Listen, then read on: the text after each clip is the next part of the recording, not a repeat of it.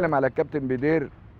يعني أقول بدير آه، هو نص الهادي والهادي هو نص بدير.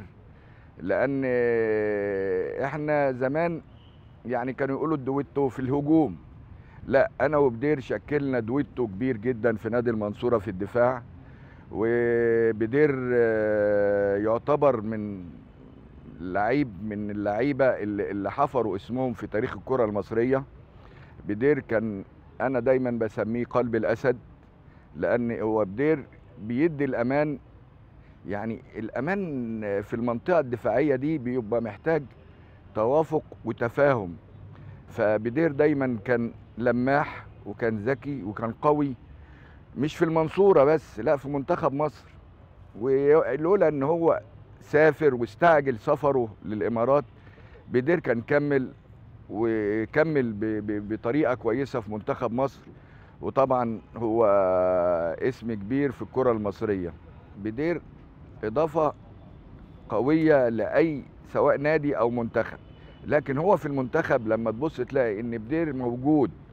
وبيبقى جنبه مصطفى يونس بيبقى جنبه آه، إبراهيم يوسف.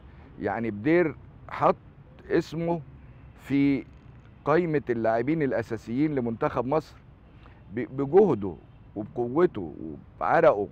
فأعتقد إن هو كان إضافة كبيرة للكرة المصرية ورمز كبير من من الرموز لما بنقول نقول إبراهيم يوسف بنقول آه، كابتن حسن حمدي بنقول كابتن مصطفى يونس بنقول الكابتن سعيد عبد الجواد بنقول الكابتن سياجي بنقول الكابتن بوبو أو رحمة الله عليه. لازم نذكر كابتن محمد بدير. وذكرنا الكابتن محمد بدير. هتقول إيه لمحمد الهادي والله الهادي ده أصلا يعني صديق العمر آه. صراحة يعني. آه. و آه، توأمة أنا وهو لأن لعبنا مع بعض في نادي المنصورة كتير سنين يعني. نعم. ولعب معايا برضه في المنتخب. وطبعا كلامه بصراحة يعني مش كتير عليا. لا نتسال كل خير. طيب أنت لما جيت من الإمارات دخلت نادي المنصورة إزاي تاني؟ دخلت نادي المنصورة في التسعينات آه، آه، أيام ما كان آه، كابتن حسن مجاهد والحاج إبراهيم مجاهد ماسكين النادي.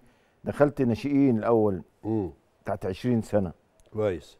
والحمد لله حققت بطولة القطاعات الجمهورية. كويس. وعملت تيم صعد نادي المنصورة درجة تاني سنة. آه. لا الممتاز. للممتاز تاني سنة لما نزلت المنصورة و- والمجموعة اللي كانت معايا خدوها الفريق الأول صعدوا المنصورة دوري الممتاز أنا عملت في- صنعت تيم كويس جدا.